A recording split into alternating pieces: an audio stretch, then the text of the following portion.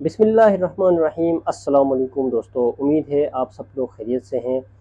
पिछली वीडियो में मैंने आप लोगों के साथ सीवी फॉर्मेटिंग के ऊपर बात की थी कि आपकी सीवी जो है वो किस तरीके से आप स्ट्रक्चर कर सकते हो, किस तरीके से आप डिज़ाइन कर सकते हो कौन कौन से की पॉइंट्स आप उसके अंदर ऐड कर सकते हो और आपकी सीवी का डिज़ाइन कैसे होना चाहिए और कौन कौन से उसके अंदर प्रोफाइलिंग आप उसके अंदर ऐड कर सकते हो उन सारी चीज़ों के ऊपर बात की थी। उससे पिछली वीडियो में मैंने आप लोगों के साथ सीवी प्रिपेयर करने के ऊपर बात की थी कि आप अपनी सीवी को किस तरीके से प्रिपेयर कर सकते हो। इस वीडियो में मैं आप लोगों को ये बताने की कोशिश करूँगा कि वो कौन कौन से ऐसे सोर्सेज हैं जिनसे यहाँ के जो आ, जो कंपनीज़ हैं वो जॉब एप्लीकेशन या आपकी सीवीज जो है ना वो रिसीव करती हैं। तो आज की वीडियो को एंड तक देखें। और वीडियो के कंटेंट्स जो है वो अपने दोस्तों के साथ शेयर करने की कोशिश करें।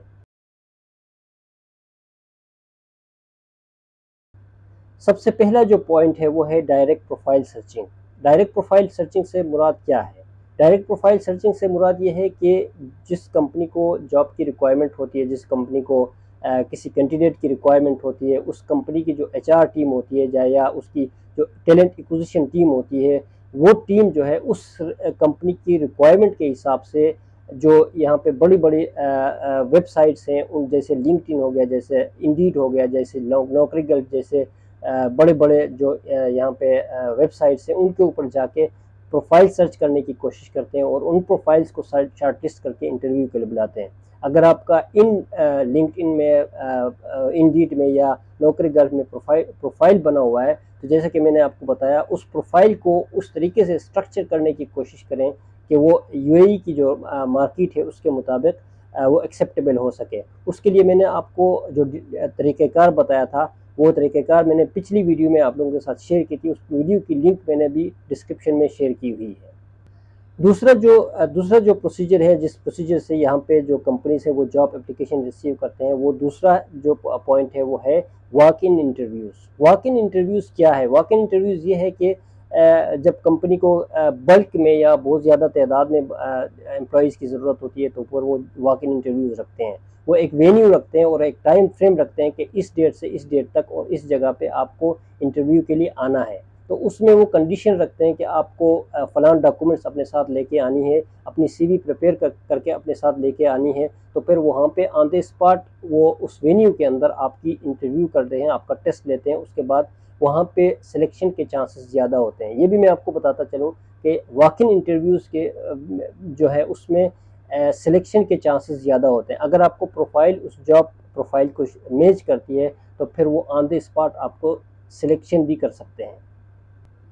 तीसरा जो प्रोसीजर है जिस प्रोसीजर से जिस तरीके जिस प्रोसीजर को यूज़ करके यहाँ पे जो बड़ी बड़ी कंपनीज़ है वो हायरिंग करती हैं वो है डायरेक्ट एच आर ईमेल या वो अपने एडवर्टाइज के ऊपर एडवर्टाइजमेंट के ऊपर डायरेक्ट एच आर का या टैलेंट एक्विजिशन टीम का ईमेल दे दे, दे देते हैं। उस ईमेल के ऊपर उनको आपने अपनी सीवी फॉरवर्ड करनी होती है। उस ई में उस एडवर्टाइजमेंट में वो कुछ कंडीशंस रखे होते हैं कि आपने अपनी सीवी इस डेट से इस डेट तक उनके, उन तक पहुंचानी होती है। तो उस डेट के अंदर आपकी सीवी अगर उन तक पहुँच जाती है तो फिर वो जो सीवी फॉर्म जब उनके पास बल्क में सीवी आ जाते हैं तो फिर वो सीवी जो स्कैनिंग सॉफ्टवेयर है उसके ज़रिए वो उनको स्कैन करते हैं और उसमें जो की पॉइंट्स हैं, उसके की पॉइंट्स के हिसाब से वो जो सॉफ्टवेयर है वो आपकी सीवी को शार्टलिस्ट करती हैं। इसीलिए तो मैं आपको कह रहा हूँ कि आप अपनी सीवी को as per the you structure design करने की कोशिश करें और अपनी सीवी के ऊपर वर्क करें ताकि आपकी सीवी जो है वो शार्टलिस्ट हो सके।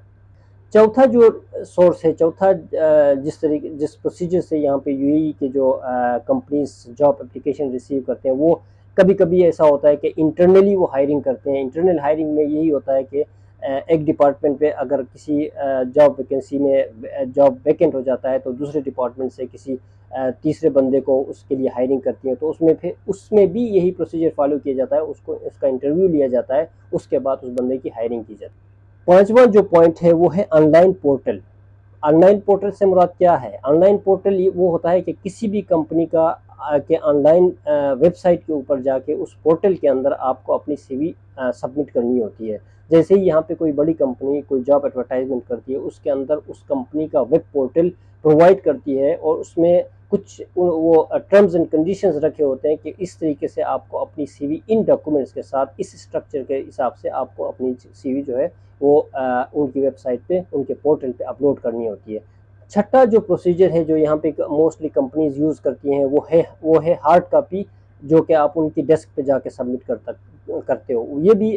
जो भी कंपनी जॉब एडवर्टाइजमेंट करती है, उस एडवर्टाइजमेंट में वो चीज़ मेंशन करती है कि आपको अपनी सीवी इस टर्म्स एंड कंडीशंस के साथ, इन टर्म्स एंड कंडीशंस के साथ, इस टाइम फ्रेम के अंदर आपको अपनी सीवी जो है ना हार्ड कापी उसके साथ फलां फलां डॉक्यूमेंट्स लफ करके अटैच करके आपको उनके जो हेल्प डेस्क है या उनका जो रिसेप्शन है वहाँ पे आपको सबमिट करनी होती है। जैसे ही आप वहाँ पे उनका सबमिट कर देते हो वो आपको आ, अप, अप, अप, कोई रेफरेंस नंबर डाल देते हैं। वो आपको कोई रेफरेंस नंबर प्रोवाइड करते हैं कि आपकी जो एप्लीकेशन है उसका रेफरेंस नंबर ये है। अगर आपको आगे ट्रैक करना होगा तो आप उस रेफरेंस नंबर के हिसाब से अपने जो एप्लीकेशन है उसको ट्रैक कर सकते हो।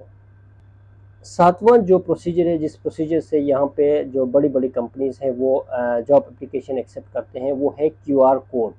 कोई भी कंपनी जब बड़ी बड़ी कंपनीज़ जो है, वो जब, जैसे ही किसी जॉब के लिए एडवर्टाइजमेंट करती हैं, उस एडवर्टाइजमेंट के अंदर वो अपनी कंपनी का Q Q R code provide करते हैं। जैसे ही आप उसको क्यू आर कोड को स्कैन करते हो, वो आपको उस कंपनी के वेब पोर्टल के ऊपर ले जाती है और उस कंपनी के वेब पोर्टल के ऊपर आप को अपनी सीवी जो है अपने डॉक्यूमेंट्स जो है उनके ऊपर उनके स्टैंडर्ड प्रोसीजर के हिसाब से आपको अपलोड करनी होती है। आठवां जो प्रोसीजर है वो है रेफरेंस अगर कोई आ, किसी बड़ी कंपनी में कोई आपका जानने वाला हो उसके रेफरेंस से आपको आप अपनी सीवी उसके जो एचआर है उसका टैलेंट एक्विजिशन टीम है उसके ऊपर प्रोवाइड कर सकते हो। रेफरेंस का मतलब यहाँ पे ये नहीं है कि आपको कोई जॉब जो है ना वो ऑफ़र करता है। रेफरेंस का मतलब यही है कि कोई इंटरनल आदमी आपकी जो सीवी है, आपका जो जो एप्लीकेशन है, वो जो रिक्वायर्ड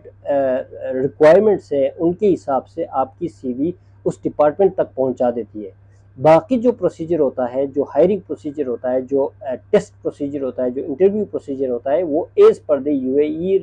रूल्स यहाँ पे कंडक्ट किया जाता है। आप ये मत समझे कि रेफरेंस के हिसाब से कि मेरा बंदा अंदर बैठा हुआ हो तो फिर वो बगैर टेस्ट के, बगैर इंटरव्यू के मुझे वहाँ पे सिलेक्शन करवा देगा। तो ये आठ पॉइंट्स हैं जिनके जिनके ज़रिए यहाँ पे यूएई के जो बड़ी बड़ी कंपनीज़ हैं वो जॉब एप्लीकेशन रिसीव करते हैं। आज की वीडियो में मैंने आपको बहुत डिटेल में ये सारी चीज़ें बताने की कोशिश करी, कि नेक्स्ट वीडियो में मैं आप लोगों के साथ यहाँ की एचआर का जो सर्कल है, जो यहाँ पे एच की जो पॉलिसीज़ हैं उनके ऊपर बात करने की कोशिश करूँगा। अपना ख्याल रखिएगा, अपने दोस्तों का ख्याल रखिएगा और ये वीडियो अपने दोस्तों के साथ शेयर करने की कोशिश कीजिए।